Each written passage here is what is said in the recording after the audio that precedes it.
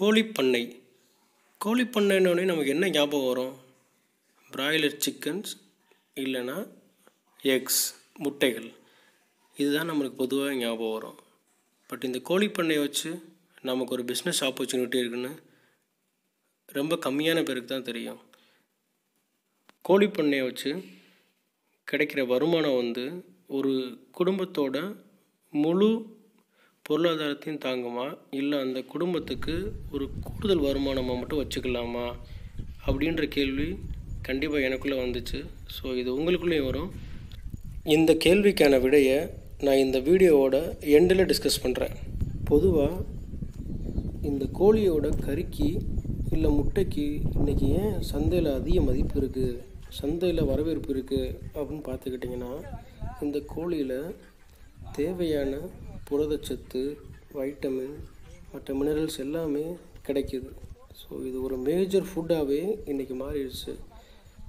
இன்னொரு காரணமும் இருக்குது இந்த கறியோட மென்மைத்தன்மை.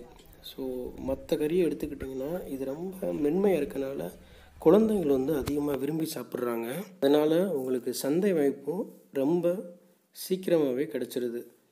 ஸோ சந்தைப்படுத்துறது ரொம்ப கஷ்டமான வேலையாக இருக்காது. அதனால் விவசாயிகள் எல்லாமே இதை நோக்கி இப்போ மாறிக்கிட்டு இருக்காங்க. ஸோ மற்ற விஷயங்களை இப்போ நம்ம தெளிவாக டிஸ்கஸ் பண்ணுவோம். ஒரு கோழி குஞ்சுன்றது வந்து பிறந்த மொதல் நாள் அதாவது பொறிக்கிற இடத்துலேருந்து எடுத்து வந்த ஒரு நாள் கோழி குஞ்சு தான் வந்து கொடுக்குறாங்க. ஸோ அந்த குஞ்சு வந்து நாற்பத்தஞ்சு நாள் வளர்த்தாங்கன்னா நாற்பத்தஞ்சு நாளுக்கு மேலே நமக்கு வந்து இறைச்சிக்கு கிடைக்கிது. இதுதான் ஒரு இறைச்சி கோழி அதாவது பிராய்லர் சிக்கன் ஃபார் மீட் இந்த கோழி வந்து இது ப்ராசஸில் தான் பண்ணுறாங்க ஸோ இது வந்து எல்லாருமே ஈஸியாக பண்ணிட முடியுமா அப்படின்னு பார்த்தா கண்டிப்பாக கிடையாது. இதில் நிறைய நுணுக்கங்கள் இருக்குது ஸோ அந்த ப்ராக்டிஸ் எல்லாமே இருந்தால் மட்டும்தான் பண்ண முடியும். இந்த ப்ராக்டிஸ் எல்லாம் நம்மளுக்கு எங்கே கிடைக்கும் அப்படின்னு அனலைஸ் பண்ணி பார்த்ததில் தமிழ்நாடு கவர்மெண்ட்டே நமக்கு எல்லா டிப்ஸுமே கொடுத்துருக்காங்க. ஸோ அந்த வெப்சைட்டோட லிங்க் அந்த ட்ரைனிங் தனியாக நடத்துகிற கேலண்டர்ஸும் கொடுத்துருக்காங்க. ஸோ எந்தெந்த டிஸ்ட்ரிக்டில் எங்கெங்கே ட்ரைனிங் நடத்துகிறாங்கன்ற கேலண்டர்ஸ் இருக்குது அந்த கேலண்டர் ஆப்போட லிங்க்கும் உங்களுக்கு நான் இந்த வீடியோட டிஸ்கிரிப்ஷனில் கொடுத்துருக்கேன். நீங்கள் எடுத்துக்கலாம்.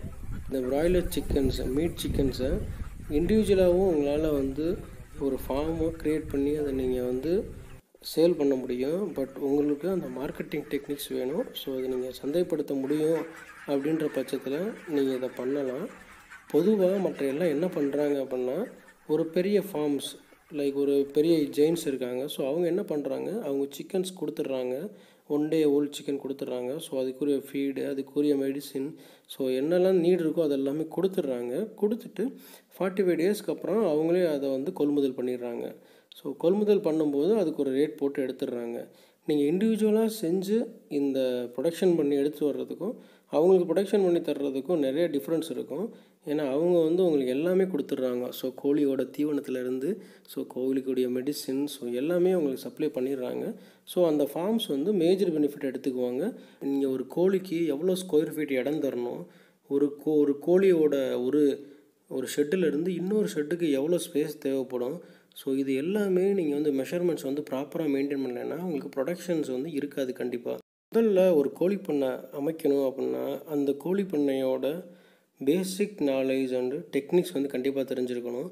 ஒரு கோழி பண்ணையிலையோ இல்லை அதற்கு சார்ந்த படிப்புகள் இருக்குது ஸோ அந்த ட்ரைனிங் ஃப்ரீயாகவே பண்ணுறாங்க அந்த ட்ரைனிங்கும் நீங்கள் அட்டன் பண்ணி லேர்ன் பண்ணியிருந்தீங்கன்னா மட்டும்தான் இதை நீங்கள் சக்ஸஸ்ஃபுல்லாக பண்ண முடியும்.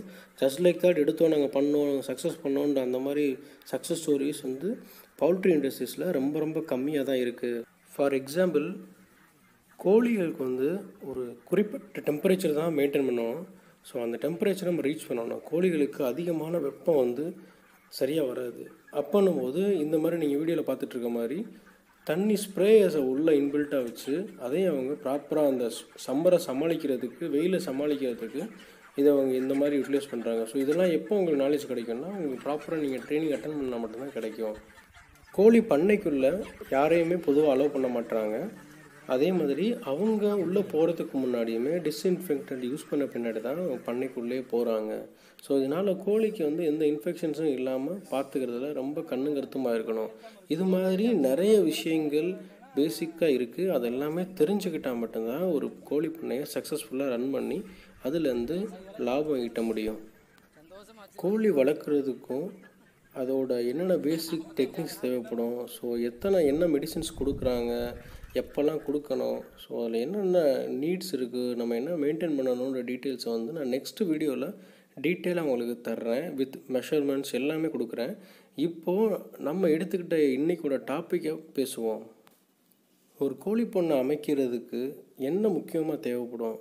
முதல்ல அதற்கான சரியான இடம் தண்ணி இதோட அந்த இடத்துலேருந்து மெயின் ரோடு ரொம்ப ரீச்சபுளாக இருக்கணும்.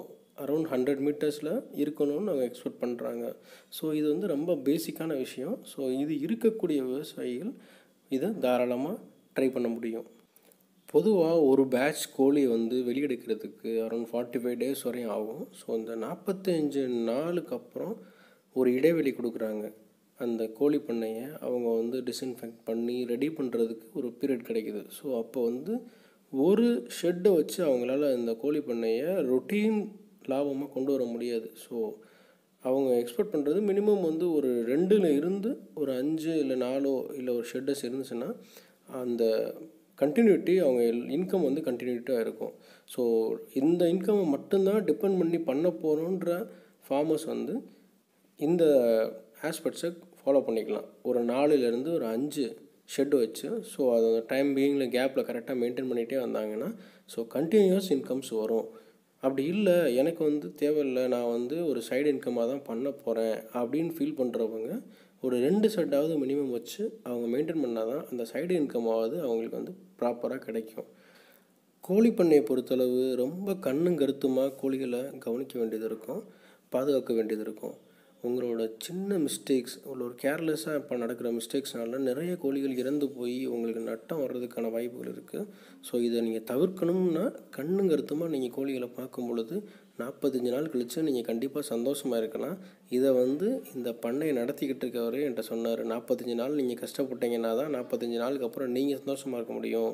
கோழி பண்ணை மூலயமா ரெண்டுமே பாசிபிள் தான். அது நீங்கள் எடுத்துக்கிறக்க போகிற ரிஸ்க்கை பொறுத்து உங்களோட உழைப்பை பொறுத்து உங்களோட டெடிக்கேஷனை பொறுத்து தான் இருக்கும். ஆல் த பெஸ்ட் மற்ற டீட்டெயில்ஸை நெக்ஸ்ட் வீடியோவில் கண்டிப்பாக நான் அப்டேட் பண்ணுறேன் தேங்க்யூ